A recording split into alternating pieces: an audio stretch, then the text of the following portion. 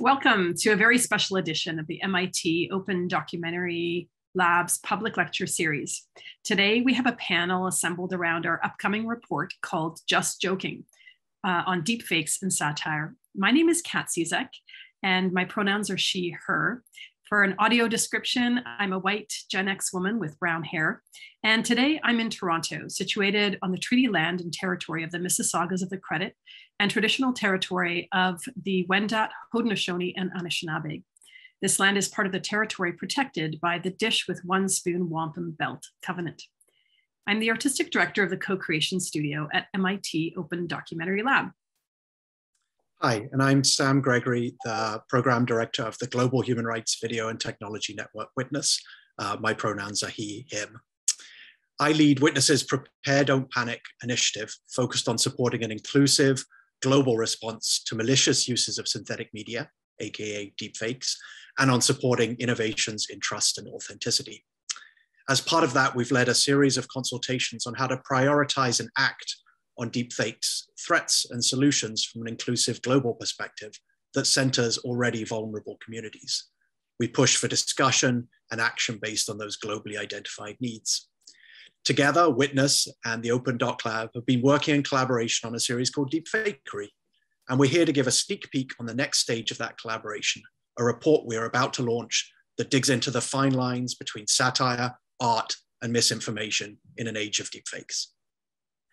We're going to run this session as a round robin panel with lots of clips and lots of different takes. I will be moderating, and Sam's going to sit on the panel with uh, special guests Joshua Glick and Dejha Ti and Ania Catherine. We'll be approaching these questions from multiple sides, from human rights, scholarship, and history, as well as artistic and creative perspectives. Uh, there will be a Q&A at the end of the session, so if you'd like to uh, pose a question to any or all of the panelists, uh, please drop it in the chat or the Q&A box. Today, we're focusing on the political, artistic, activist, and legal arenas in which deepfakes are beginning to intersect with satire, both benign and malicious.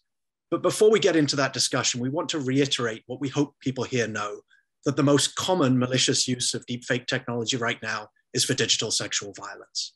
And we must also point to how malicious gaslighting, which we'll discuss later, is often highly gendered in nature. Kat and I are going to start with a brief framework for the report itself.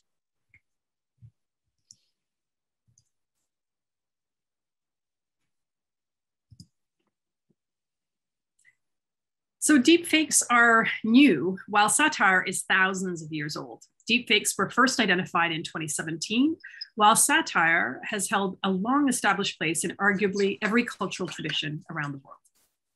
Most of you know this, but just in case, deepfakes are computer synthesized audio or video that make it seem like people have done or said things that they actually never did or said. But maybe Al Gore can explain this better. Mr. Gore, let me start by asking why are politicians in all of Washington so concerned about deep fakes? Well, what has people in the government really scared is that deep fakes can put words in people's mouths. You know, make people say things like vagina and and poop. And, and, and then you've got senators going around saying vagina poop. But they didn't they didn't say vagina poop. But you're saying deep fakes are already out there. Yes, deep fakes are everywhere. I'm serial. So satire is a creative genre that uses comedic devices like irony, parody, exaggeration, and other forms for social criticism. In much of the world, it's not protected by law. The US is one exception, where satire is protected under US law. Now, for satire to be satire, many argue it needs to punch up. That is, it needs to attack the powerful rather than punch down on the less powerful. And according to communication scholar Dannagal Young, satire relies on the audience's participation, that they are in on the joke with knowledge of references and key contexts in order to achieve its intended effect. For our report, Just Joking, we have looked over at over 70 recent examples of deepfakery. Some are satirical, some not. Um, but we use them to probe precisely these lines, the gaps, the intersections that exist between the artistic and civic possibilities of this technology. We argue that a wide range of voices need to be part of answering these important questions that arise in these cracks and overlaps, including not just the technologists, lawyers, politicians, the platforms where these videos are shared and the platforms where they are made, but also human rights activists, artists, journalists, people from all parts of the globe and on the ground. These are the people who are both finding new uses for these technologies, as well as having profound understandings of impact and harm that vulnerable people can face when malicious actors and institutions are not held accountable. And that leads us to our panelists. Um, first up is Josh Glick. Um, thanks for joining us. Uh, Josh is an assistant professor of English, film, and media studies at Hendrix College and a fellow at the Open Documentary Lab. And he is uh, a co author of the report. Hi, Joshua. Um, tell us about your relationship to deep fakes. Hi. Uh, well, thanks so much um, for bringing me onto the panel today. Um, I mean, I, as you mentioned, I was a, a co-author on the report and I'm a media historian. I sort of come at this both from the perspective of history as well as trying to historicize the contemporary and look at um, present day phenomenon. And there's just, just a couple things that I wanted to sort of highlight in the report, uh, kind of angle that we were collectively taking that I think speaks to some of its strengths and things for folks to look out for. I mean, one is this connection across many different kinds of case studies and case studies that some people might be familiar with, others that might be quite unfamiliar, but trying to sort of synthesize a, a wide breadth of examples and make those connections. Two is to open some dialogues and open up a, a, kind of space for conversation between the present and past and these connections really across across history, across time. Um, additionally, uh, to really to see sort of satire as a crucial occasion, both for looking at cases of say malicious media and, and you know, malicious forms of synthetic media, but also for the kind of civic possibilities um, of uh, synthetic media in a variety of forms. Um, and that takes us to you know some of those many disparate kinds of examples included in this report. Thanks, Josh. We're also invited, uh, we've also invited special guests, Dejha Ti and Ania Catherine, who are Los Angeles based experimental artists, but today they're coming to us from, uh, from Denmark. And uh, they've been named as by Clot Magazine as two critical contemporary voices on digital arts international stages. Flaunt Magazine says they are an LGBT power couple. And they're also in the middle of a production um, with uh, Deepfakes, an art project called Soft Evidence. Welcome and tell us about Soft Evidence. Absolutely. Uh, thank you for having us, and I'll just share my screen. My name is Dejha Ti. And I'm Ania Catherine, and both of our pronouns are she, her. Mm-hmm. Uh, our practice uh, emerges creative technology, performance art, and large scale environments. And we're going to bring you through soft evidence, which was supported by Media Futures, receiving funding from the European Union's uh, Framework Horizon 2020 program. And our particular focus uh, within the mis and disinformation uh, aspects for, for this program was around AV manipulation.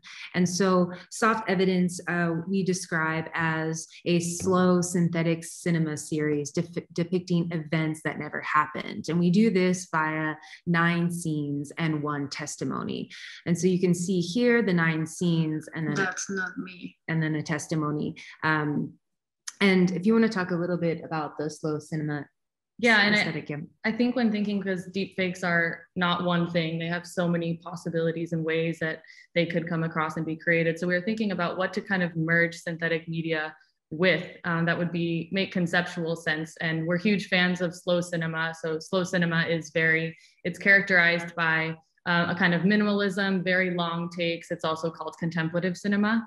And I think, kind of going back to Sam and prepare, don't panic, we're entering, I think, a phase where we need to not knee jerk react to media. We need to learn to kind of slow down our consumption, to see something and respond to it, or look into why it ended up in front of us, who made it, and all of these things, which is why we took the slow cinema kind of medium to make our deepfakes.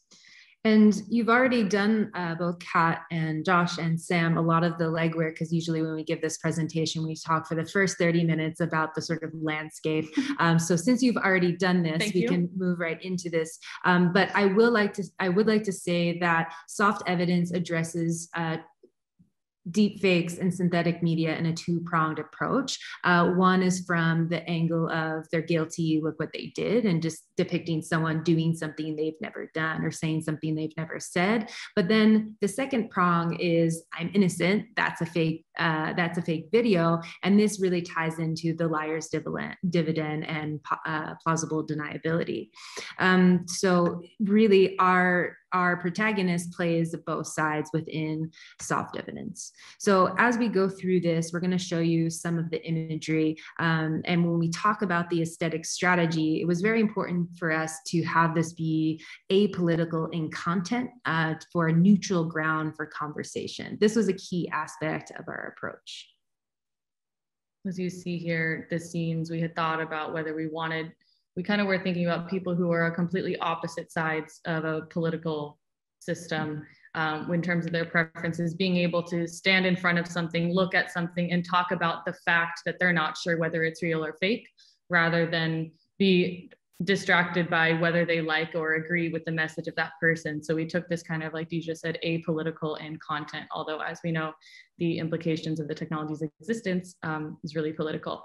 And just to highlight one of them, as Sam mentioned, the digital sexual violence through deepfakes, we wanted to kind of take the tool that's used um, in such a horrific way against women and use it and create a deepfake that is actually depicting a moment of queer consensual intimacy, something aspirational and beautiful to kind of undo uh, the way it's normally used to depict women and sexuality.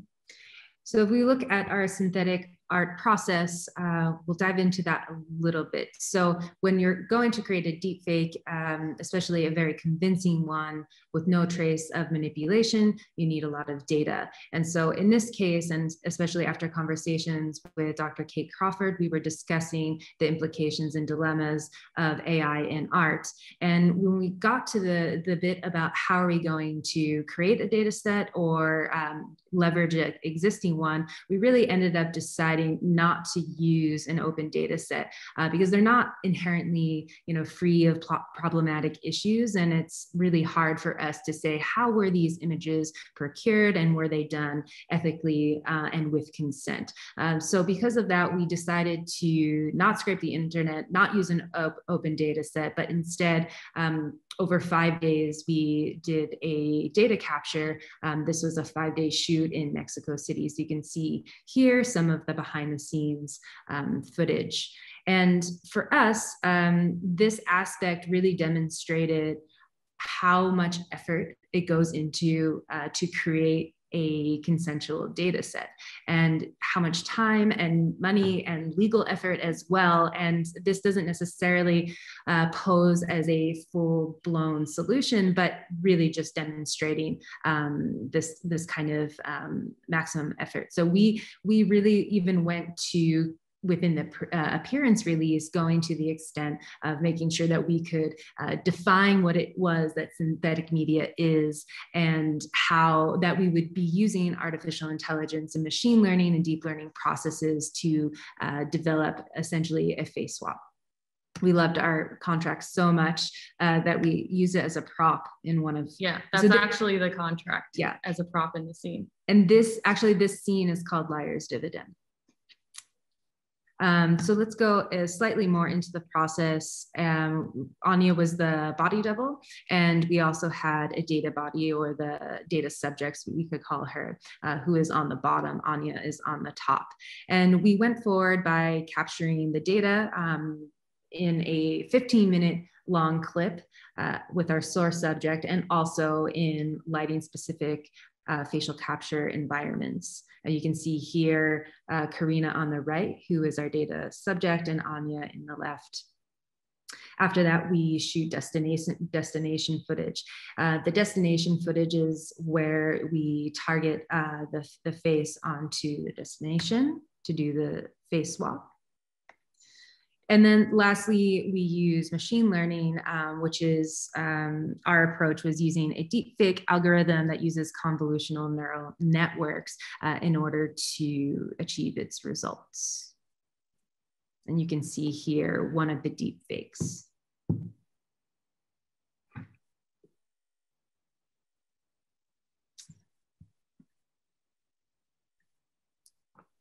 And in terms of how the world interacts with soft evidence, encounters soft evidence, we decided to do both a digital version and are choosing Telegram as an experiential vehicle for the work to be experienced for audiences no matter where they are. And we specifically chose Telegram because of how deepfakes, how deepfakes are circulated oftentimes in closed messaging groups.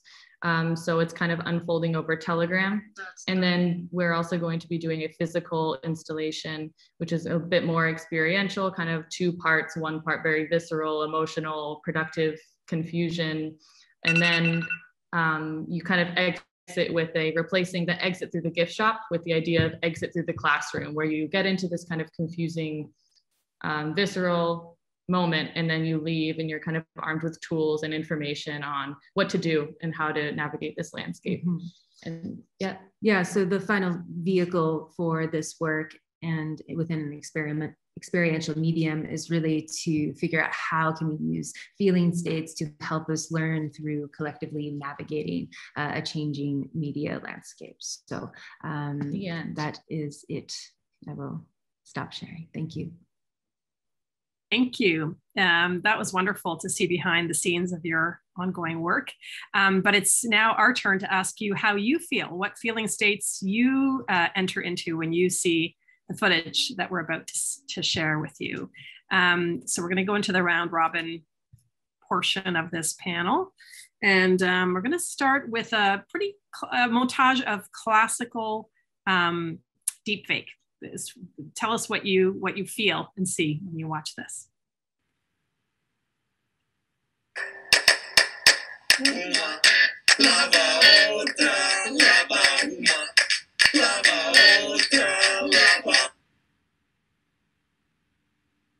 So I'm grateful to Channel 4 for giving me the opportunity to say whatever I like without anyone putting words in my mouth.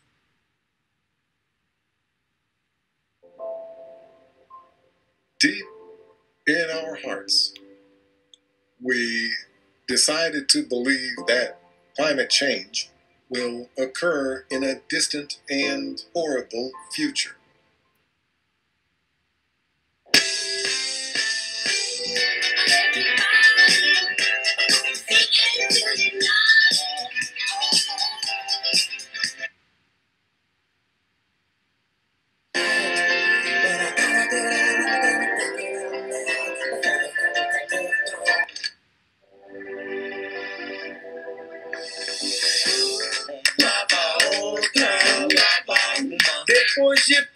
Que o corona é besteira.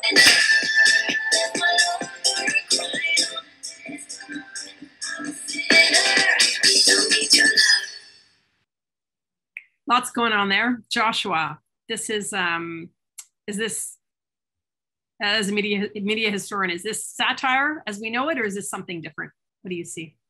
Yeah, I mean, very quickly, I mean, I think it's definitely you know new in terms of a lot of the tools and, and the technology sort of in play. Um, I mean, I think it is satirical in the way that hyperbole is working, these sort of grotesque performances calling attention to, you know, misguided leadership, uh, atrocities, you know, um, uh, acts of mismanagement, and I mean, just very quickly the historical angle. I mean, this is combining, uh, you know, a kind of deep fake at work in this um, for the for the aim of satire, but is I think very much in dialogue with the kind of history of these sort of sort of low comedic arts of um, you know glitch aesthetics and the way the camera is moving. I mean, it's ways that is, is essentially revealing its own fabrication while still able to advance a kind of critique. I think quite productively.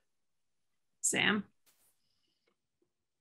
Yeah, I, I love most of these clips because they, to me, are like using deepfakes in a really classical satirical and parodic tradition, right? You're punching up um, you're using context people know really well. So Bruno Sartori uses these real soap opera contextual references in Brazil. If you live in the UK, you know the Queen's Christmas message. So there's like a real context to all of these of people in power. So I love the sort of self-referentiality and how people are using deepfakes here um, to to poke fun and to criticize the powerful. So for me, these fall very much in a kind of classic satirical tradition, of course, as well as the Russian and Chinese examples. Putin in a jump uh, gym suit. Uh, uh, can you comment on the choreography? I understand one of you is a choreographer, Ania and DJ. Yeah, um, I think that he could have used his head a little more to like really make the movement full so it didn't just stop at the neck like when he put his hands up maybe he should have gone like two you know just to like really complete the look um, but I, I do also love the punching the punching up and i also imagine that it might feel like you're you're able to get a point against such an impossibly power powerful person in this silly way. And there's not very many ways that the everyday person can kind of take a jab i think at someone that's so powerful and untouchable and might be um, making your everyday life very difficult. So i can imagine that there's a feeling of success and happiness in that in that moment okay where's that line between satire and disinformation uh, this is something we found on the Babylon Bee website, um, which is a flow chart uh, that helps, uh, I guess, uh, its intended audiences to navigate satire or dangerous disinformation. Sam, can you tell us a little bit about the Babylon Bee and you know what this flow chart is or isn't doing? Yeah, the the Babylon Bee is one of um, a site that Josh and Henry, the two co-authors of the report, highlighted in the report. And it's interesting. It's a Christian news satire site, um, and it's also been at the center of being uh, called by both mainstream media and by fact checkers on platforms misinformation. And I think this is, it pulls together a lot of the issues you see in this flowchart around grappling with satire in a contemporary context, right? Which is, you know, um, who's policing it, right? Platforms and the media. Um, but also questions of like, it's not quite so simple of, does it make fun of something? Do I disagree with it? Um, was it fact checked, right? Like one of the criticisms of the Babylon Bee is that it punches down, right? That it's misogynistic, that it targets LGBTQIA plus um, populations with its humor, um, and that it also deliberately is part of reinforcing already deceptive information and putting that out into the world. And so I think when we look at satirical media, we have to think what is it in doing in relation to a bigger media ecosystem. Um, and I think, you know, when we looked at this just joking report, we're really trying to say what happens when um, when not everyone's in on the joke, what happens to the punch when it punches down, and how does this all relate to this bigger media ecosystem where we're starting to place deepfakes into this space? And so, this flowchart, although it's actually quite funny to look at because often we have these biases as we deal with information, also starts to point at the complexities of this and the different players in it. DJ and Ania? I have nothing to add. That was perfect. Joshua, do you have yeah, I mean, I, and I encourage everybody, you know, to check out um, this case study. And Babylon Bee is, is a really fascinating example. I mean, it does position itself. It sort of announces itself as as a, a kind of right wing version of, of of the Onion. But as Sam was saying, I mean, it doesn't in this chart, and you know how the Bee you know continues to function doesn't really account for the fact that it does not only punch down, but also the way in which the articles that it generates circulate online. Um, I mean, so many of them are, are believed as, being true, um, including, you know, the president retweeting um, articles and things like that. Um, and so, you know, that fact um, really has everything to do with the kind of thread of, of a lot of this kind of media circulating in our contemporary um, ecosystem. Well, and that leads us to the next clip. Um, beautifully, Josh. Uh, what about when something is put out there as truth? in this case, we're going to show you a clip uh, that was tweeted by a White House deputy chief of staff on August 20th. And uh, this is a, a, Washington Post breakdown of the clip, and then uh, we'll, we'll talk about it. Wake up. Yes, wake up, wake up. Anything. Okay. this is your wake up call. Nothing. Okay. Um, I'll tell you what. We are going. He's yeah. He's meditating. He's having. He's taking a little nap. Taking a little nap. Harry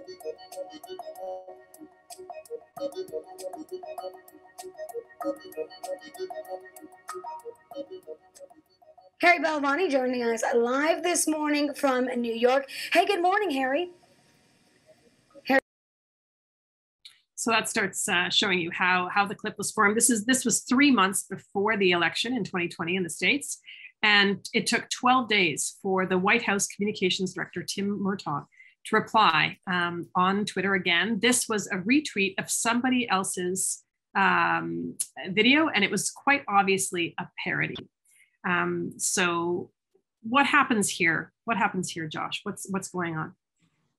I mean, a, a couple of things. I mean, one, I mean, it's a, a, video that I think is revealing of just how easy it is to, to manipulate this kind of media. I mean, not just in the realm of, of deep fakery, but, you know, the kind of cheap fakes and shallow fakes um, that we do talk a little bit about in the report, but the kind of cutting and pasting and reorganizing of material to create, um, you know, a video like this.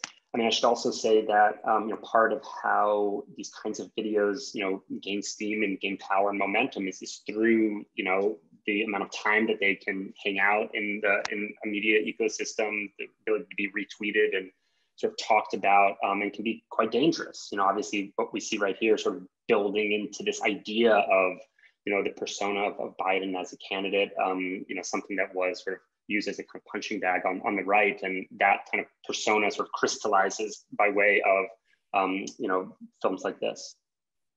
DJ Ania.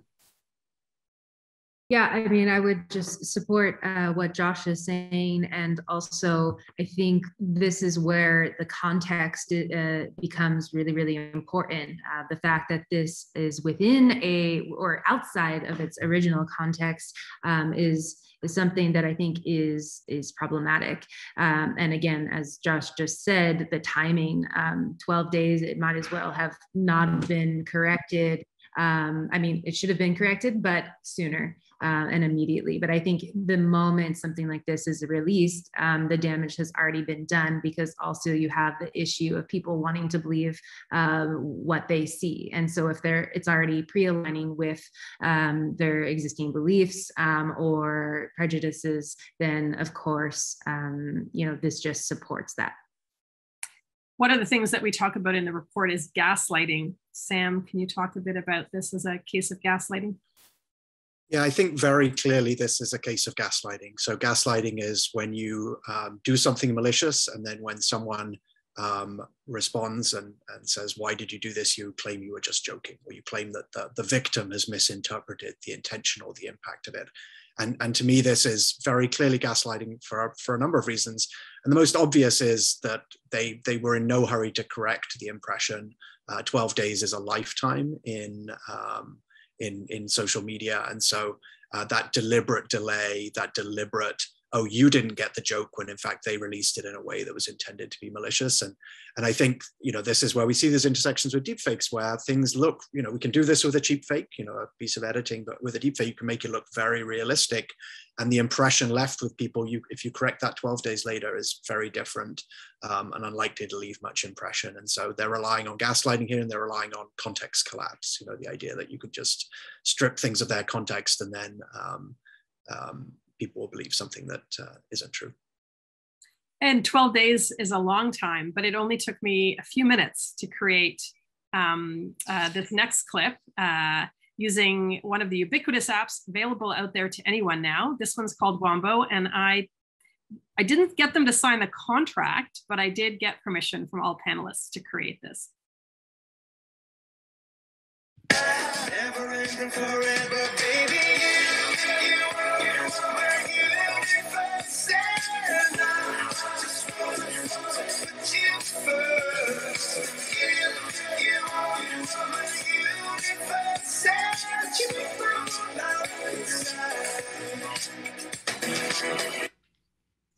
Creepy or fun, Sam? What do you what do you feel? I'm, I'm with fun on this one, absolutely with fun, uh, because I gave my consent and because it's in this context. Yeah, and uh, Wombo certainly um, foregrounds that they're making this stuff look silly too, that they're not cleaning it up.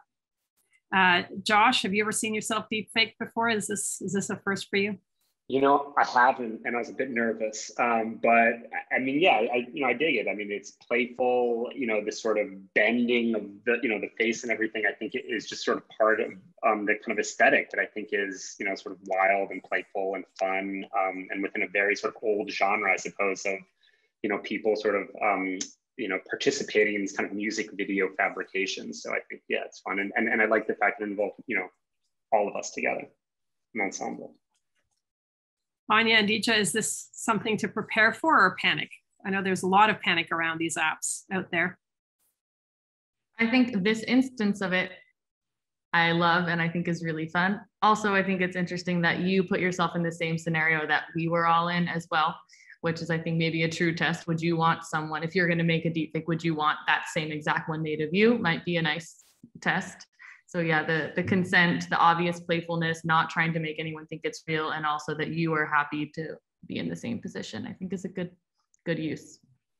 Yeah, and per- perhaps you know when you when you get to play around with with an app like this, it's that media literacy of learning, as Josh was saying, the the tools and and um, understanding how these images are constructed or deconstructed for sure. Um, but okay, let's let's let's move into another area. What about uh, resurrecting the dead? Um, this is uh, a, a, a, thing that's happened in the last year or so. There was a cohort of of activist projects uh, in which they um, they resurrected uh, dead activists.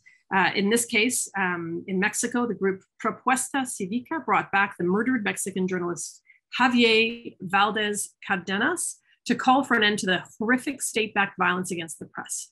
Even though the filmmakers obtained the consent from the victims' families, the dramatic presentation of the deceased delivering political charged messages proved controversial. Let's take a look at this one. Señor Presidente Andrés Manuel López Obrador, soy Javier Valdez, periodista y escritor. El 15 de mayo de 2017 fui asesinado por órdenes de alguien a quien no le gustó lo que publiqué. Pero aquí estoy, como me ve, hablándole. Hoy una pandemia afecta al mundo. Pese a ello, tenemos que seguir hablando de otras dolencias que en México han cobrado aún más vidas. Yo no tengo miedo, señor presidente, porque no me pueden matar dos veces. Por eso vengo a hablar por las y los cientos de periodistas que fueron asesinados desaparecidos y desplazados, por realizar un periodismo ético de investigación que desnudaron las entrañas del poder corrupto y el crimen organizado en México, que es producto de la indiferencia, por no decir complicidad de varios gobernadores y funcionarios estatales y federales. No vengo aquí a pedirle un favor, señor presidente, vengo a exigir. Do, um, the ends justify the means here, Sam? Yeah, it, this is it's, it's, such an interesting case because I'm incredibly sympathetic to the usage here. Um, you know, knowing um, the campaign groups and the individuals who are involved here, we're really trying to think how do we call attention to this this huge scaled problem of the killings of journalists and other civilians in Mexico. And the other ones in this space have included the Parkland shooting and someone doing a you know an appeal against suicide amongst police officers. So I think the, the, challenge to wrestle with is kind of like this is sort of the, the easy end of the pyramid, right? Like these are the ones where it feels very easy because, you know, it's for a political purpose, there's consent of the family. Often these were public figures already. And it's as we go further down that sort of all of the rest of the manipulations and the ability to put words in people's mouths, how do we start to feel about that? Um, because these almost feel easy to, to do it at this at this point. Um, you know and so i think that's that's the real grappling that happens as we move away from these very high profile ones like this. I do also want to raise a point that um, uh, a panelist in a session we did when we talked about this reporter a, week ago raised, and Mutale Nkonde, a leading expert on AI, really also wanted to place this in a cross-cultural context and kind of really thinking about this, this idea of resurrection, appropriating someone else's image and how we make sure as we look at this, we address it in a range of cultural traditions. Um, and she was talking about African, indigenous cultural traditions and how do we think about this? And I think often the leading edge of these usages happens in uh, US and Western political context, and those often have very little attention being paid to uh, you know how this usage might play out in different cultural and political traditions and so i think it's really important even as we might valorize something like this to say where would we draw the boundaries on individuals but where might cultures and political systems say you know this is you know inimical to how we think about um, the nature of someone's image and the, the continuance of it Ania and Dejha? Uh, you you expressly went apolitical in in uh, soft evidence. Here here are these explicit political attempts. For sure, and and I, I and even still, I would say here there's a lack of labeling.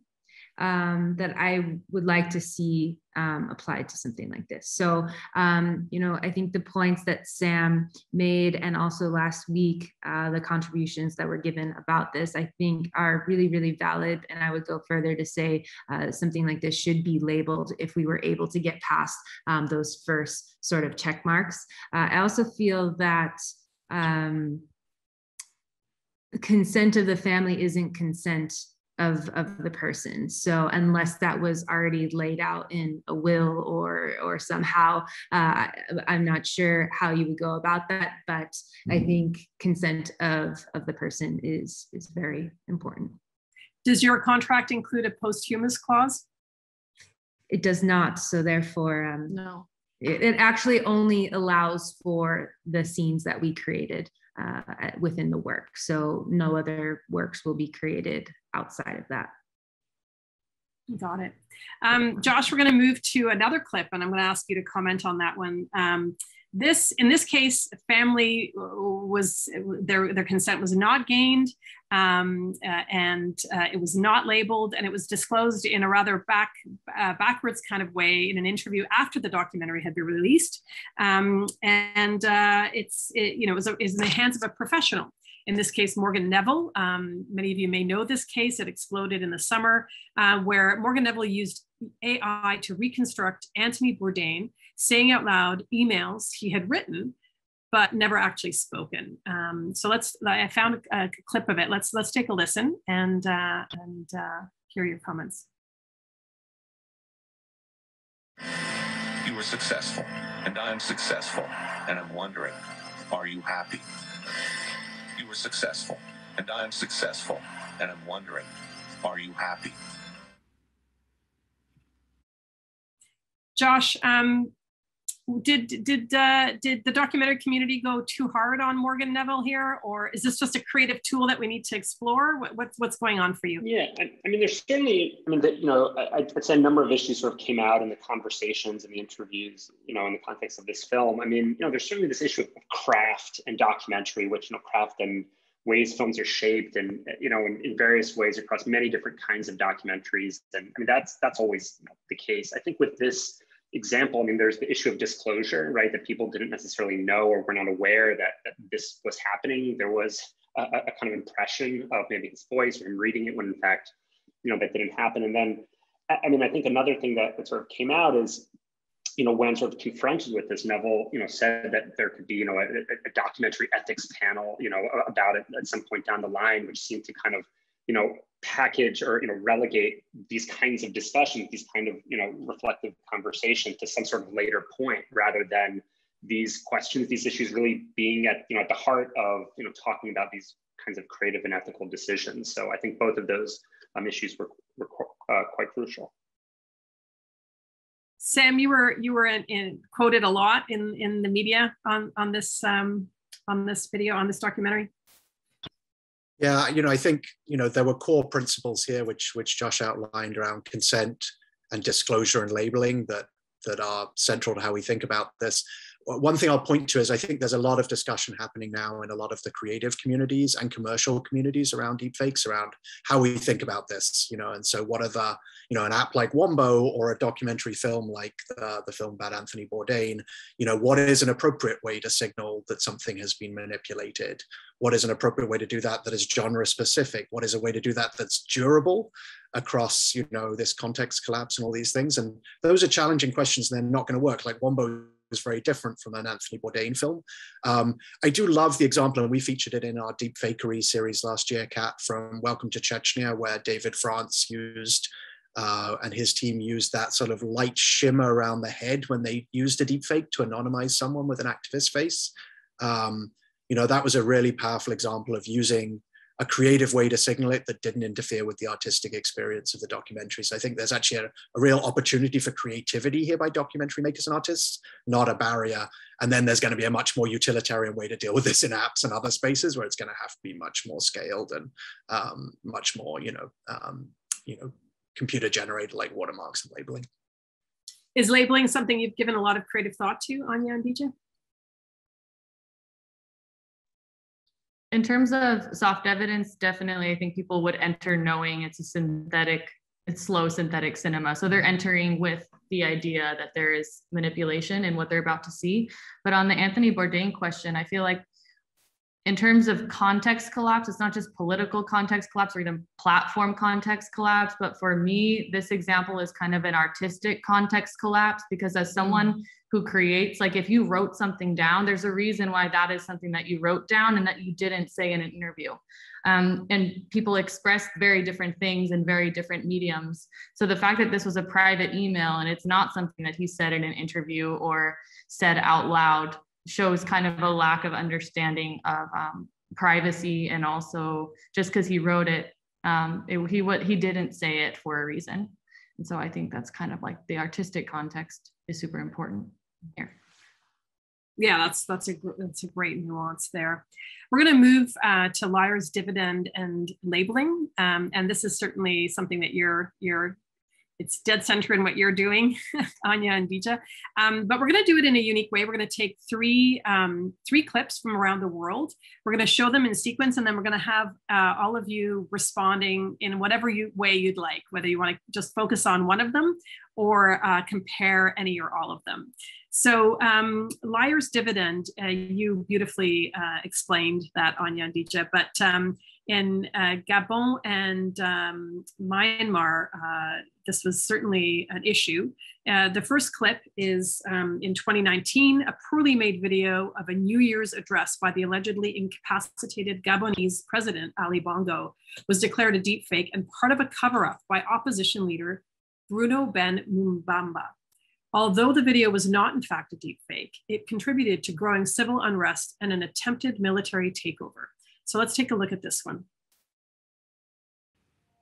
Mes chers compatriotes, Gabonaises, Gabonais, avant toute chose, permettez-moi de vous adresser. It was his first public statement since falling ill, and he looked different.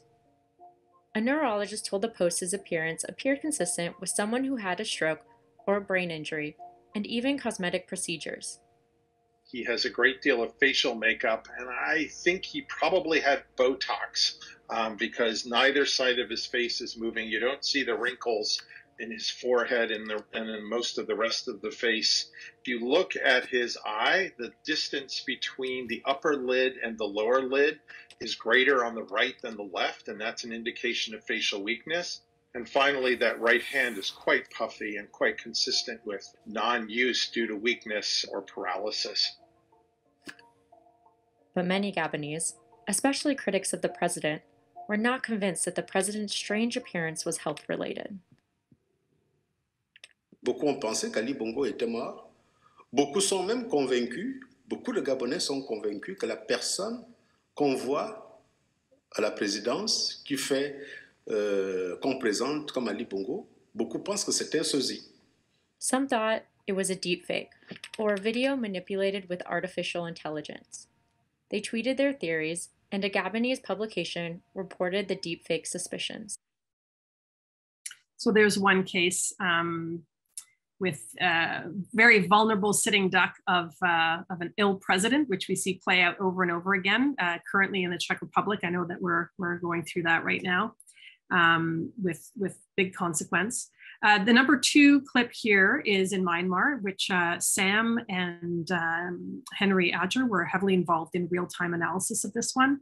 Um, it was after the, in the aftermath of the 2021 coup uh, d'etat in Myanmar, there were widespread claims to deepfakery concerning the video confession of the former chief minister Phyo Min Thein He alleged corruption, he alleged corrupt charges against the ousted Burmese leader, Aung San Suu Kyi, and uh, AI experts uh, deduced that the video was most likely a coerced confession rather than a deep fake. And uh, Sam, Sam certainly was one of those who, who um, was dealing with this clip in real time. ရန်ကုန်တိုင်းဒေသကြီးဝန်ကြီးချုပ်တာဝန်ထမ်းဆောင်ခဲ့တဲ့ဦးဖြိုးမသိန်းဖြစ်ပါတယ်။ကျွန်တော်အနေနဲ့ဒေါခင်ကြီးဖောင်ဒေးရှင်းနဲ့ပတ်သက်ပြီးပြောချင်တာကတော့ ဒေါခင်ကြီးဖောင်ဒေးရှင်းဆိုတာဒေါအောင်ဆန်းစုကြည်ကိုမျက်နှာလိုချင်တဲ့လူတွေအတွက်နေရာကောင်းတစ်ခုပါပဲ။အဲဒါကြောင့်လဲ very low quality clip, and this is certainly how it was experienced online. Um, and number three, meanwhile, uh, this overstepping issue with labeling. Um, can it have a stifling impact on creative expression? free speech and open debate. In this case, in Cameroon, a local academic and activist shared a clearly fabricated video of the French ambassador telling Cameroonians that they never achieved independence from France's colonial exploitation. Facebook's third party fact checkers at the French broadcaster France 24 labeled the video partially false, thus nullifying the rhetorical power of the critique. Voilà. Je suis le proconsul euh, de France au Cameroun, pardon, l'ambassadeur de France au Cameroun, Christophe Guilhou. Je voudrais dire quelques mots aux Camerounaises au Cameroun. So let's go to you, Sam. What uh, what do you see with these three clips? So um, you know, th- this is the problem that we've been seeing. One of the problems we've been seeing most broadly globally is that it's incredibly easy to dismiss something as a deepfake. It takes a few words um, and increasingly hard to detect deepfakes. Um, that's obviously not the case with the Cameroonian ambassador. I want to be clear, like uh, the French ambassador, that's very clearly a, a Wombo-like deepfake. But the Myanmar one was really interesting. We were grappling with it in real time because journalists in Myanmar reached out um, to me as it started to circulate. And what we saw was this video, which was very, you know, um, hard to, to analyze really because it was low quality. He did look like he was speaking out of sync.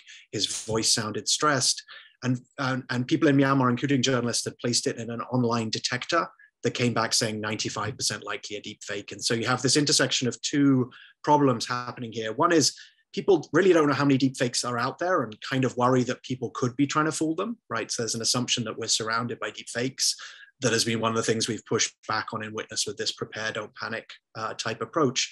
And the second was there was no easy way to then see if it was or wasn't a deep fake, right? So you have this combination of the rhetorical panic plus the inability to test it right because that online detector result was was wrong, right? It was just giving a false result because it didn't know that it, you know, it wasn't able to, to, to, to handle the media well. It was compressed media that's very hard to analyze from a detection perspective and of course it actually was a forced confession not a deep fake right? So um, that made it very hard. So it's it's really this kind of combination of issues that comes together in the myanmar case.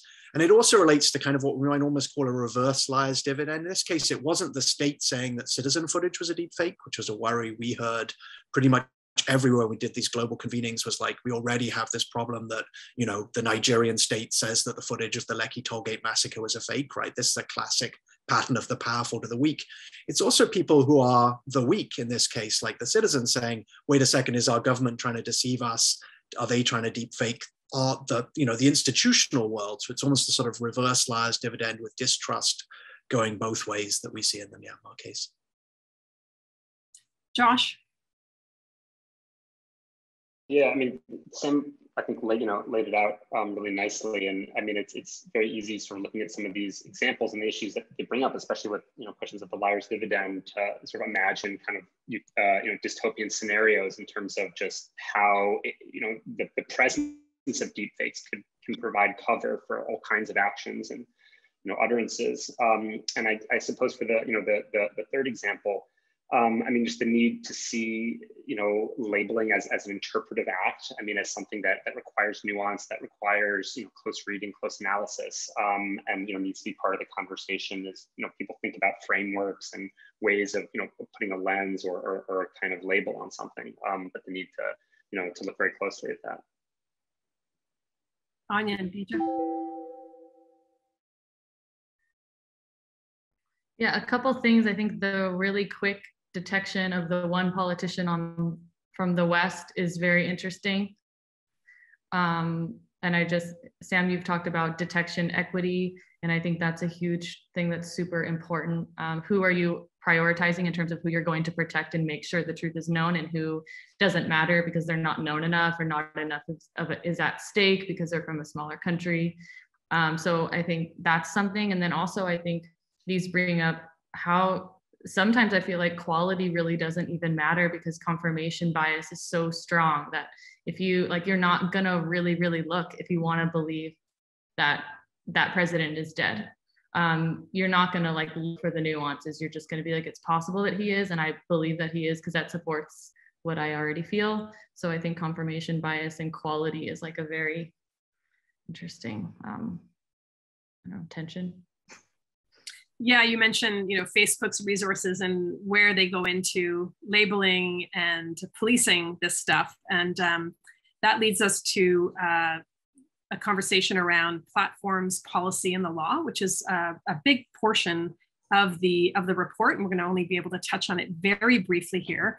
Um, we're going to close off um, perhaps with statements from all of you um, asking you where you feel the responsibility lies. Is it the platforms? Is it um, is it governments is it policy is it law where where where do we need to begin addressing these these these very real issues as we've seen today um, let's start with you josh yeah, I mean, it's it, it's a huge question. It's an urgent question. I mean, I think we can we can move in multiple you know directions at once. I mean, I think certainly you know questions of policy, governments have a huge part to play in this. Um, I mean, for also holding you know platforms responsible and I mean, as for-profit entities, um, I mean, as far as their motivation, I mean, they, they, need to be compelled to act and act in specific ways, and that involves hiring and devoting resources and having people, you know, serve in the role of content moderators.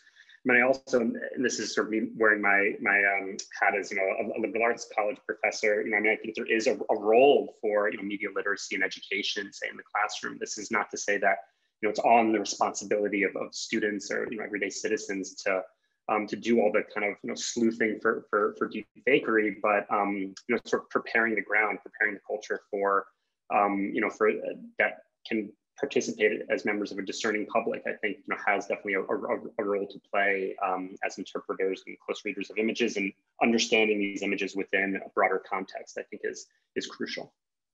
So entering through the classroom. Yeah, entering and leaving. It can be and leaving. It's a, a rotating door. Ania and, and Dejha.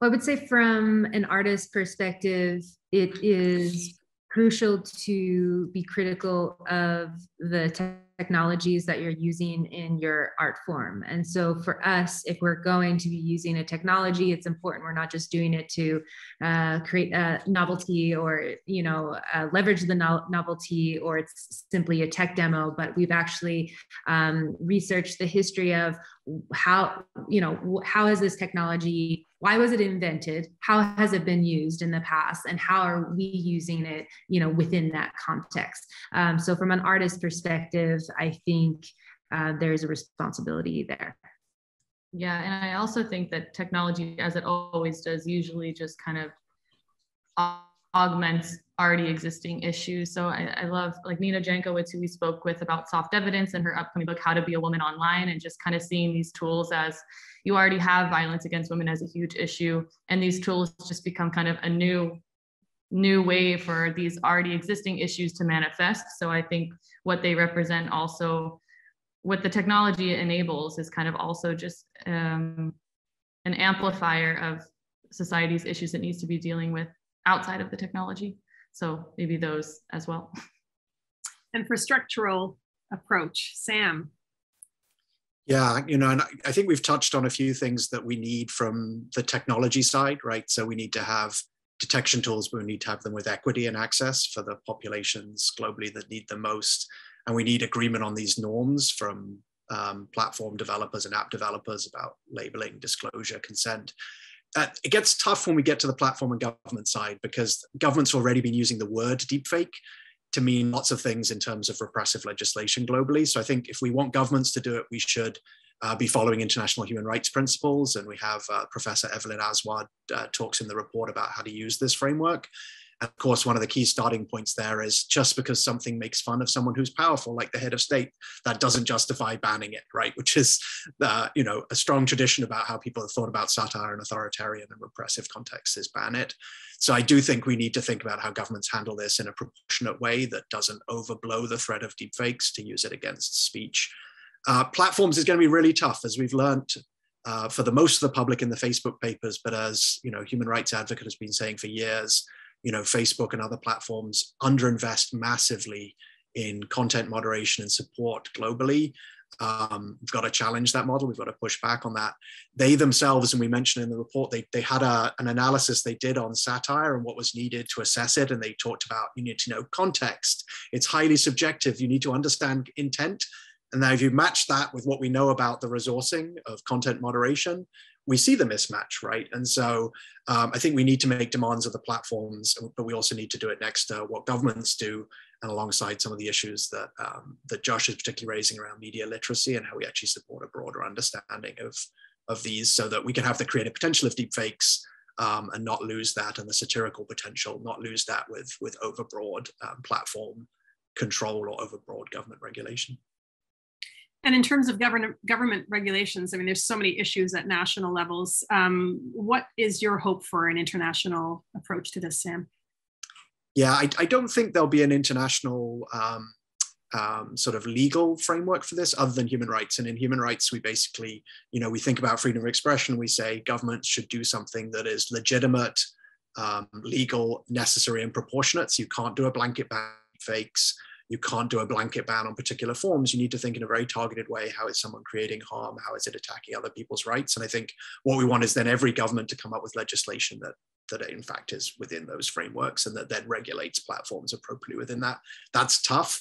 Um, and I actually think we need to be careful about doing too much that's deepfake specific, right? You know, like it's, you know, this is a sort of, as we've sort of been talking about, it's a symptom and it's a, it's related to all these other issues in the information ecosystem. And so far we've seen the word deepfake weaponized too much for malicious purposes, both the liar's dividend at a specific level, but also at the government level. You see deepfakes appearing in legislation in China, the Philippines, as part of a justification for repression. Thank you. Um, I'm going to ask um, fellows from the lab, our panelists, to join us, and we're going to have uh, open it up for a group discussion. Uh, so please turn on your cameras. And for you out there uh, in the webinar space, uh, please do uh, drop questions or comments into the Q&A and we'll be, we'll try and get to as many of them as we can. Um, if you, if you, there, there's Artemis and I'm seeing other folks joining as well. Um, is there some, oh, William, I see your hand.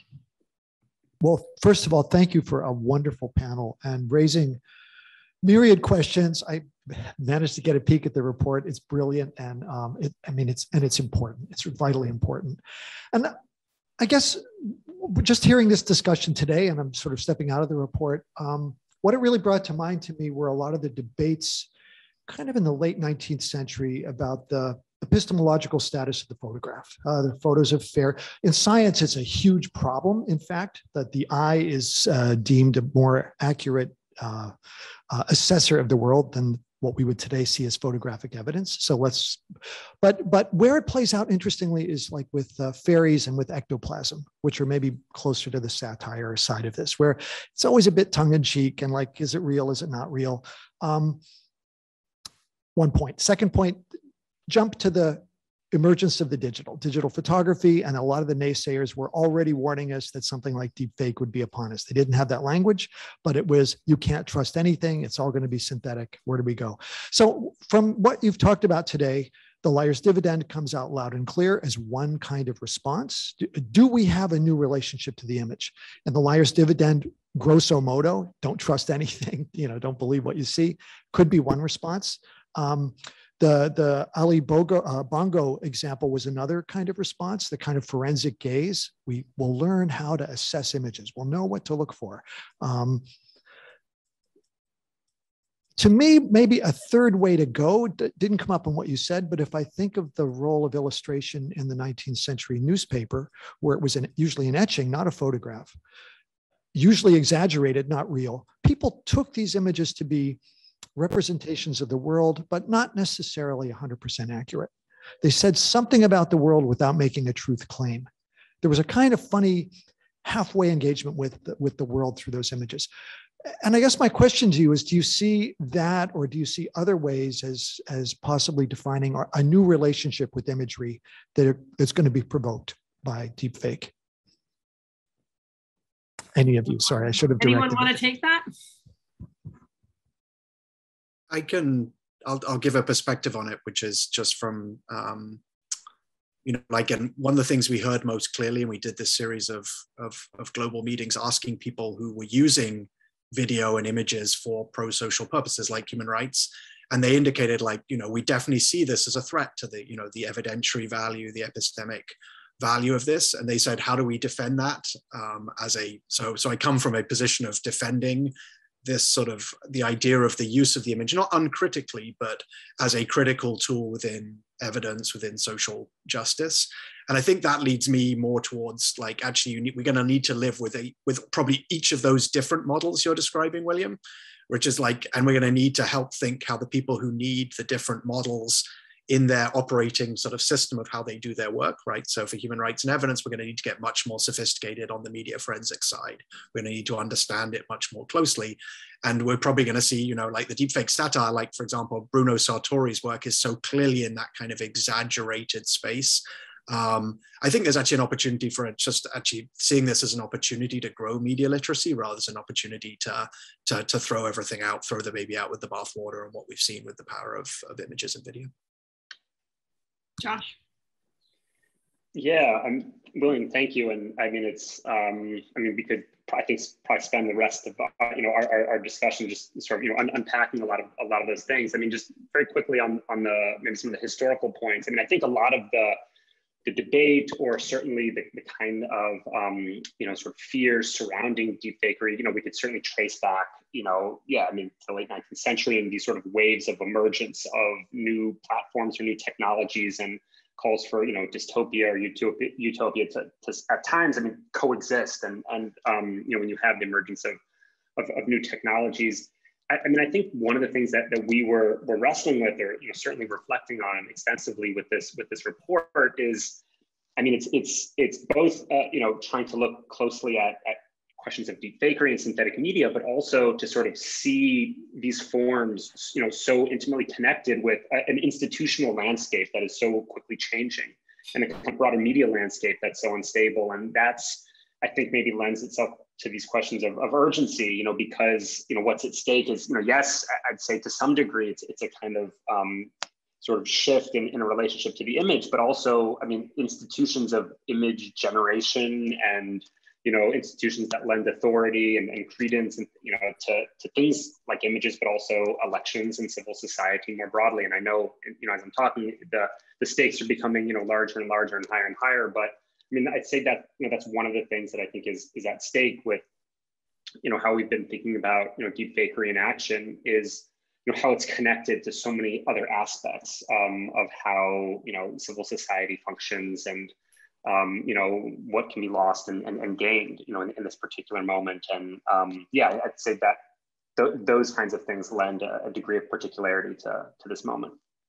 And maybe just to, to, add, I mean, what strikes me is that the um, the cure for a lot of the fairies and ectoplasm in a way the cure but uh, it was the kodak you know it was the fact that suddenly this thing was in everyone's hands and once once photography became a mass practice there was a i think people actually did approach this stuff with a slightly different gaze um, and maybe it's the, the, the availability of the kind of low hanging fruit tools for deep fake that are you know that are abundant on the internet that might help people kind of start to develop a, a slightly different perspective okay thanks Thanks. Uh, Ania and Dejha, do you have anything to, to add to this relationship, changing relationship to the image? Sure. I, I think my perspective would be more on our relationship with digital infrastructures as they exist today, um, meaning that most of the infrastructures that we are interacting with are built in a way uh, where they're addictive, they're built in a way that they're meant to be extractive. So already our relationship uh, for consuming media, whether it be visual or or not, um, it's already precarious. And so I think actually our relationship from a like foundational uh, perspective with technology would have to be repaired and recourse and rebuilt in order to begin to um, you know start tackling the our relationship to the image. Because i think the two are just unlinkable. You mean because of like the speed the speed and also you know the the type of um, inflammatory image, imagery that is shared um, is is meant uh, to increase engagement. Is the best thing for the platform. Like exactly. the worst content is the best thing for the platform. Exactly. In most cases. So. Yeah. So that's driving all of the priority on, you know, if we're underfunding um, detection tools uh, and regulation within, for instance, Facebook, you know, it, it wouldn't be uh, in their interest um, from a profit standpoint and a power standpoint. Artemis. Yeah, well, thank you, Kat, and everyone for this timely and important panel. And um, and I do wonder if some of these issues do arise kind of perennially in moments of pronounced, you know, uh, change, technological and cultural. But I have a kind of a different uh, question, which has to do with history and historical events. So I'm thinking about something like. Um, you know, uh, Washington's surprise attack when he crosses the Delaware. And then it's kind of formed into a, um, you know, a tableau painting that kind of really glorifies and elevates, you know, the event has kind of reflects a kind of bias or, or maybe it's satire like the recent cover of the New Yorker magazine was crossing the divide and um, or there are always historical reenactors who get dressed up in costumes and actually get on the boat and cross the Delaware. Um, but I'm wondering, you know, when you put these kinds of impulses, um, you know, uh, uh, uh, uh, next to deep fakery and technology, whether or not there are people who are trying to reanimate um, and revise history itself.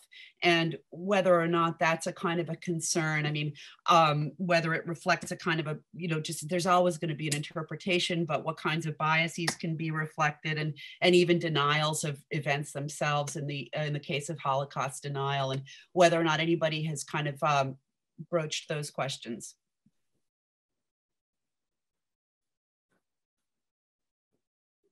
In our research for soft evidence, one of the most interesting things was looking at photo manipulation under Stalin and how he was already rewriting history by, for example, there's a photo of him and say five other politicians, but one of them fell out of his favor. And so they he had them recreate the image, just subtracting that person um, to make it look like he was never affiliated because they must have done something that pissed him off. So I think it's also interesting to just think about how the intent to rewrite history through photo and video manipulation is not new. It's just now um, so much easier and so much more advanced, but it's it's something that has already been happening. It just takes a little less effort and not a huge photo manipulation team like Stalin had. Right. Uh, um, but um, also just the kind of the way it revi- is the attempts to revise our present understanding of our even our present and how we got here. I mean, just in, in the report, at least, I mean, and we were, you know, looking at a, a wide variety of examples. I mean, Artemis, you know, part of what you're describing, I mean, potentially it's, I mean, it's a pretty big sort of technological lift and a pretty big endeavor. I mean, we haven't seen as many of, you know, sort of grand um, you know, reimaginings of the past, you know, through synthetic media. I, I, mean, and I know there's other people, you know, in, in this Zoom room right now that, you know, that might have particular examples, but I'd say, you know, one of the reasons that at least I didn't find as, as much of that happening is, you know, the, the power of, of just denial, of just the assertion that something did not happen has been pretty effective. I mean, just in terms of how that has been sort of taken up. I mean, I live in, you know, the state of the state of Arkansas, which has struggled with, you know, Holocaust education, you know, historically and, and things like that. And, and, just the power of, of the denial, the, the power of people asserting that something didn't happen in much more sort of low tech, you know, ways um, has has had, you know, some some resonance. I mean, one of the things that we have seen though, just to, to, to wrap it up, um, sort of imaginings of the future, you know, in, in, really interesting ways. And that is something I think within a lot of these sort of more pro-social or kind of civic-minded uses of, of uh, synthetic media, people sort of imagining speeches given in the future, events happening in the future, um, to sort of be these kind of exercises of, of um, you know, progressive imagining. And, you know, we have seen a lot of that. Sam? Uh, I don't don't have anything to add there. Let's uh, let's go to another question. Sure. I'm just going to uh, throw to an anonymous attendee uh, in the Q&A um, who points out an important uh, aspect that we, we didn't touch on in the panel. Um, how do you see the role of journalists and fact checkers in all of this? So what about the infrastructures and the institutions of journalism in all of this? Sam? Sure, I, I, I, can answer that or take an answer because it's been a, a, big focus for us in the last three years as, as we brought together people around this. We brought together social social media activists, social movement, human rights defenders, but we also brought journalists and fact checkers in the room.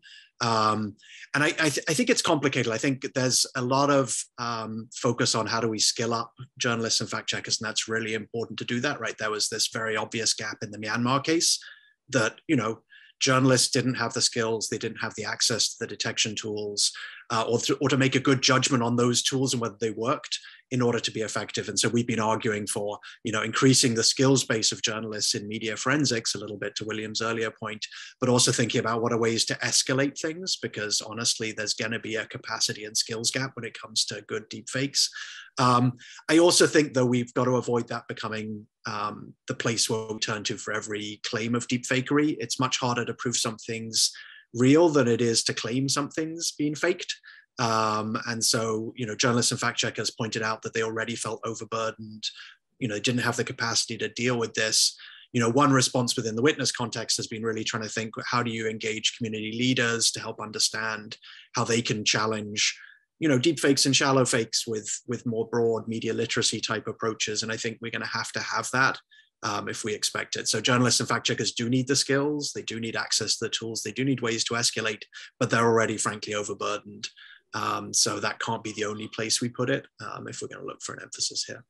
Uh, and then we need to build the tools that actually work for them. One of the sort of things that happened early on when we did this process was bringing together technologists working on deepfakes with journalists, and they were working on two different problems, which is a classic kind of like problem that you know Kat and I identified when we came into this collaboration together, which was like, you know, other technologists talking to the artists and the, the satirists who are actually coming up with creative ways to use this in the same way the technologists were coming up with solutions to problems the journalists didn't have, right? And so I think we actually have to think about that as we look at it, and that, that might actually help us um, move forward.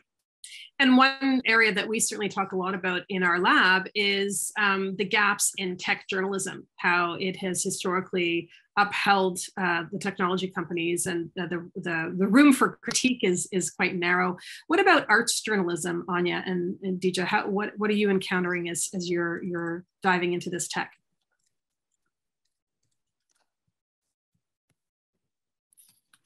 It, well, I was going to say, could you clarify a little bit more? Uh, well, just like in terms of art journalism and art criticism and and that space in terms of understanding these technologies and and and uh, being able to understand the nuance, the range. Yeah, I mean, I think this comes back to a bit what I said earlier about artists having um, this role where and a responsibility to be critical about the technologies that you're that they are using. And i think if you know if if you're being interviewed about a piece uh, and you're using you know facial recognition um, and you're kind of disclosing you know how you did it or at least you know the history of that technology i think uh, in doing that itself, um, you are bringing light to um, some problematic technologies, um, but also providing solutions at the same time and creating a place for discourse and another uh, way to enter into this conversation because someone might be looking at art news, but they might not be looking at Sam Gregory's interview. And I think that is important for artists to bring that up within their practice. It shouldn't be all you know the the like the burden shouldn't be put on all of journalists as well as all of artists but i think it's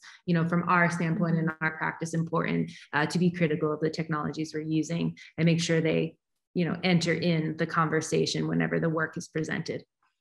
But Sterling, think, oh sorry go ahead. Just really quick i do think that digital art and art that's made with technology has um, kind of an issue with it didn't really get a lot of attention until it started selling for millions. And then the attention that it does get is about prices instead of about content. Yeah. And um, there's huge discussions within the digital art, art and technology sphere about even digital art curation because it suddenly is, there's not a lot of people, um, there are some, but I think that there's a lot of catching up to do with how to talk about digital art and how to talk about art that's made with technology and ask the questions that you would ask about any other contemporary art. Instead, it's kind of getting fixated on NFT booms and prices and wow technology and not into um, the wider implications and the social structures that birth to technologies and what artists are actually saying about technology through the work that they're making. Thank you. Richard, do you have a question? Yeah, I have a question. I'm, I'm wondering, looking at the other end of the telescope at the audience, because most Americans, in uh, not most, but a huge amount of Americans rely on fake news in order to make their decisions about their life. And the fact that it's pointed out that it's fake news has very little impact. The vaccine, for example, is a great example. A critical race theory is another great example. And so um, I think the question is who is the, the fake news for? And I think it's kind of preaching to the choir of people who already believe what the source of the news is, that they accept it as the, the source of it. And a lot of the kind of public speaking is not really for necessarily for their own people, but for the world to justify particular oppressive actions. I think of Myanmar, for example, is that I think it's not so much for local audience as it is for the world audience to justify and say, look, he confessed something Stalin did all the time in uh, doing that. So anyhow, my point was that looking at the audience end of the, the question of the recipients of fake news. Josh, seems like a question for you. Yeah, I mean, you know, I think Richard, I mean, you bring up some good points just about, I mean, how people on the ground are, you know, engaging with this kind of media. I mean, I, I would, I mean, I would push back a little bit in, in that, um, I mean, I'm not sure that the sort of current state of things, I mean, you described a little bit about what's happening in the US, and I think it resonates with, with what's happening elsewhere. I mean, I don't think that is necessarily beyond repair. I mean, if anything, I think it's, you know, a call to, you know, to be, to be more urgent. And I know that, you know, the WHO has a whole, you know, guide on misinformation and, and it's been, I think a kind of call for people to work, you know, collaboratively in the public health community with educators, with community leaders. I mean, to, to, to think about how to kind of reframe people's relationship to things like news and popular media and, and, and those kinds of things. So, I mean, I, I, I think that there is, you know, I mean, there are all kinds of sort of crises happening, you know, right now, and, and there is a lot of sort of preaching to the choir um, that happens with people's consumption of fake news. But um, I mean, I see, you know, every day in the, in the classroom that I think you know the, the, the, frameworks can be shifted. And and i think you know both the kind of you know granular level of of analysis by way of you know these kinds of reflective conversations but also the kind of big picture things that have been mentioned throughout the session in terms of policy and the role of governments and you know human rights activists um, you know also have a have a role to play. So I mean, if this sounds maybe a bit overly optimistic, um, yeah, that's just you know kind of um, yeah as, as a state of mind I'm, I'm, I'm, I'm, choosing to embrace at this moment. But I mean, certainly I think you articulate many of the, the key problems we face. Yeah, very quick uh, answer. When I, I remember in the 60s, Walter Cronkite was the most trusted man in America. In 1968, when he went to Vietnam and said, America can't win, Lyndon Johnson said, that's it. You know, I've got no support for the war because he was trusted. Who can you say that of today? I'm going to leave that as a rhetorical question and right. go to Ellen. It, that's what it, it, was intended as a rhetorical question. Ellen, with your eyeball behind you. Yeah, right. Uh, yeah, I, I wanted, um, thank you for the presentation. And I just wanted to um, drill down a little bit on Ania and Dejha's piece because it brought up a lot of questions as opposed to the more accessible pieces the first the, there's two aspects i really wanted to look at and i found it very compelling because i understand the use of creating your own data and your own data banks. So um, that was something that the other ones haven't really done. The other pieces shown that you started from scratch in creating your own data banks. The second thing i wanted to address was um, the sophistication, but also the delineation between video effects and deep fakes, because what you've essentially done is set up your own studio with your own video, high level video effects, which, um, you know, you could say Pixar also does, or other types of studios with deep pockets. So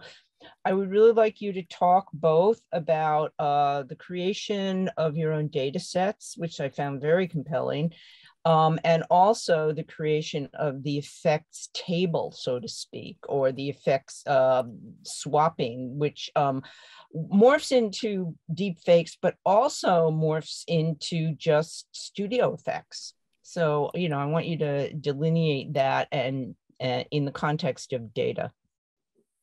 Sure. Uh, so for, I'll, I'll kind of tackle both at the same time to start, which is um, we did do the facial capture. You know, we did a longer form facial capture where it was a clean, even lighting. Um, this is really important to us as we are trying to achieve the highest level uh, of a deep fake um, that is possible or face swap that is possible. Uh, but in, additionally, we use an array of other footage as well. All of our um, scenes were shot in a non-studio context. These were places um, that we scouted that were the uh, a laundromat uh, walking down the street in Mexico City that we had passed by a million times and said, hey, let's transform that. And of course, we uh, adjusted the composition, we adjusted the lighting and these elements. Uh, so there was a craft in that composition. Um, but the actual process uh, is uh, more or less the same in terms of uh, taking a data set, which is uh, the more images that you have and depending on how you label and input them uh, will affect the quality of the of the deep fake and so we have our input source and then we have our destination footage uh, which the face is then you know swapped uh, onto. And so the process of using convolutional neural networks is um, a face swapping technique that whether it's a low lo-fi version or mo- more automatic pipeline, I mean, there's many ways to do it, and ours was very specific. Um, but this process um, was a machine learning process and a deep learning process.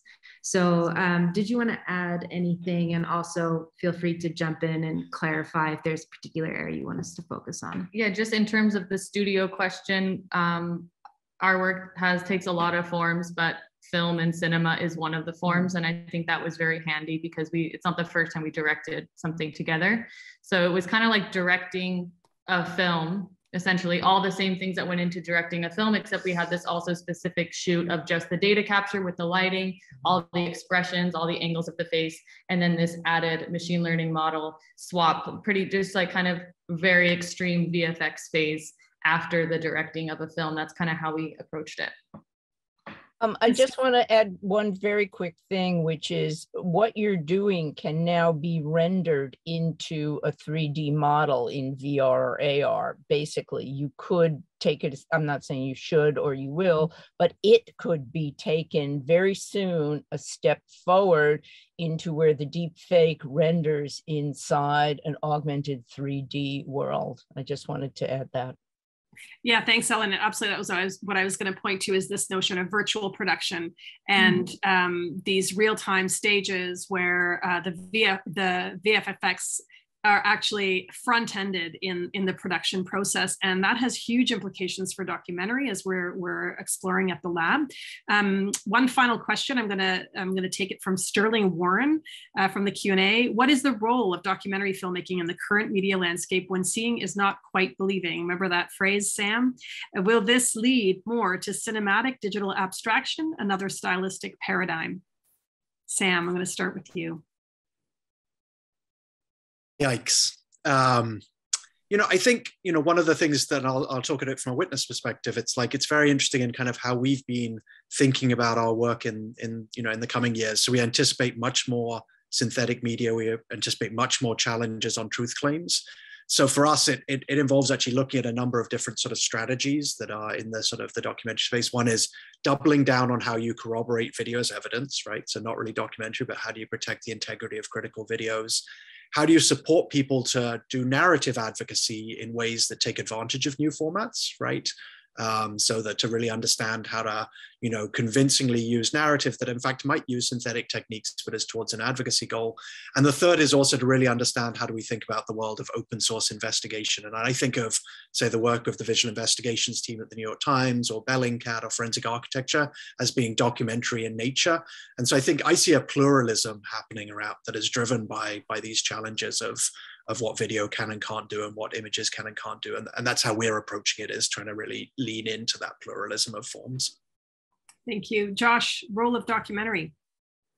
Yeah, I mean, just to echo some of what Sam said, I mean, I think there are, you know, a couple of applications with, with real urgency, you know, for this technology. I mean, documentary, I think, has has always been, I mean, at, at the forefront of, um, you know, shifts in, in technology and how, you know, people can imagine really the role of, of moving image media in the world as having a kind of social purpose and, and for social good. Um, you know, in both the kind of small scale levels of say reporting and, and, and documenting as well as maybe more kind of narrative um, long form films. I mean, I think Welcome to Chechnya was, was, was mentioned earlier in the context of this panel, but I, I mean, it's being a really fantastic you know, project that I think you know, really uh, takes full, you know, account of a lot of these ethical questions that we've raised, but is still very much in the realm of aesthetics and moving image art, you know, and, and documentary really as a form of art and sort of thinking about, um, you know, synthetic media as both, you know, a, a kind of solution maybe to a, a, a certain kind of um, ethical challenge or a certain kind of necessity to protect identity, um, but doing in a way in a way that's artful, that's engaging, um, that's sort of pushing, I think, the aesthetic as well as the um, sort of social boundaries of documentary. So I think there already are some projects um, that are, I think, providing some interesting precedents, um, and, and it'll be exciting to see what happens, um, you know, going forward. Last word to the artists. Role of documentary. I'm excited to be an audience to all the documentaries that are made that are ethically using this. I think it's going to be really exciting.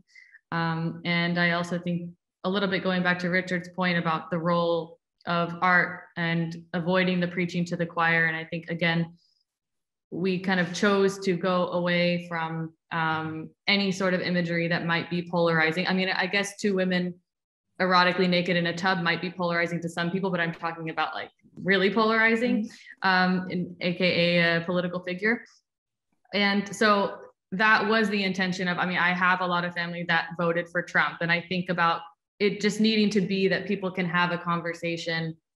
And maybe they're just interested in cinema mm-hmm. and they like the classic cinema style aesthetic and they're able to discuss and be like wait is this real? Is her hand see no if her hand went over here you wouldn't be able to tell. So like just to have a conversation about the fact that this is possible the fact that it exists. And i think art is an entry point for people to be able to start having those conversations and not suddenly get distracted and end the conversation because they disagree on something. So I think art and documentary both have a lot of potential and will be enriched by this as long as we can get the ethics and the bumpers up. Mm-hmm. Thank you so much. Um, there's a lots of comments and questions we didn't get to in the chat, unfortunately. A lot of people asking when this report comes out, and we're just going to say as soon as we possibly can, right, Sam and Josh? We're working on it within the next few weeks. Hopefully, it will be up. Um, and um, we hope that the report is the beginning of a conversation, and we would like it to function as a springboard uh, to more think tank sessions, including people as you've, you've heard from today, um, and uh, really address this as a democratic collaborative approach uh, to who decides the questions around, uh, in this case, deepfakes and satire, but obviously so much more. It's all the time we have. I want to thank um, these wonderful panelists that we've had today, Ania, uh, Dejha, Josh, and Sam. Um, and uh, I also want to invite you to join us next time